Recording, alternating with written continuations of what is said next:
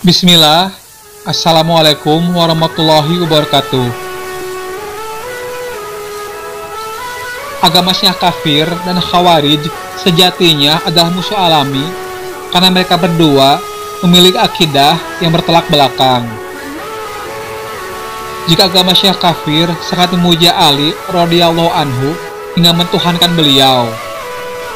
Sementara Khawarij justru sangat membenci Ali radhiyallahu anhu hingga berani mengkafirkan beliau. Tapi meskipun begitu, agama Syiah kafir dan Khawarij memiliki kesamaan, yaitu sangat mudah mengkafirkan dan membunuh kaum muslimin. Hal tersebut dijelaskan oleh Ustaz Firan Adirja dalam kajian Firok bagian 2 tentang Khawarij. Allahu alam. Dalam uh, konteks yang lain, oleh karena dalam konteks yang lain ini menakjubkan Ibnu Taimiyah menganggap orang-orang Rafidah yang suka membunuh ahlu sunnah menghalalkan darah mereka sama dengan Khawarij.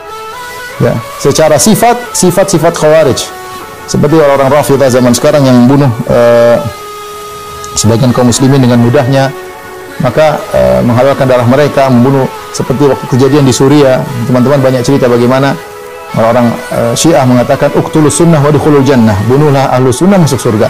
Jadi ada ada merasa ibadah dengan membunuh kaum muslimin. Orang Khawarij dulu juga begitu. Mereka merasa beribadah dengan membunuhi kaum muslimin ya. Jika ada yang ingin berkomentar tentang video ini, silakan tulis di kolom komentar.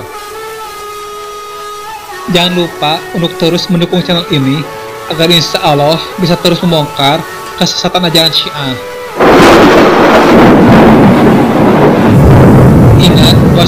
Islam alias Syiah kafir.